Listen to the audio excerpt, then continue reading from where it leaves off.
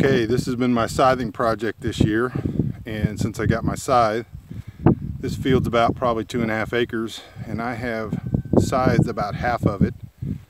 Up there at the top, if you can see the line up there, that's where I'm currently cutting the old cut, the first, first round.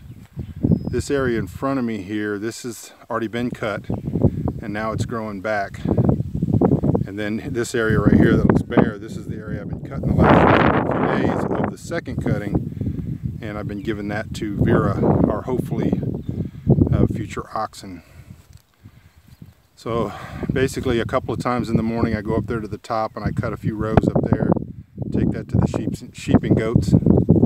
And uh, then I've been cutting this here for, excuse me, the sheep, goats, and pigs. Now I've been cutting this here for Vera because it's a nice kind of fresh green. And it's growing as fast as I can cut it up there at the top, so I'm trying to stay ahead of it. The second half of this field I haven't even touched. So I've probably done about an acre. All right, talk to y'all later.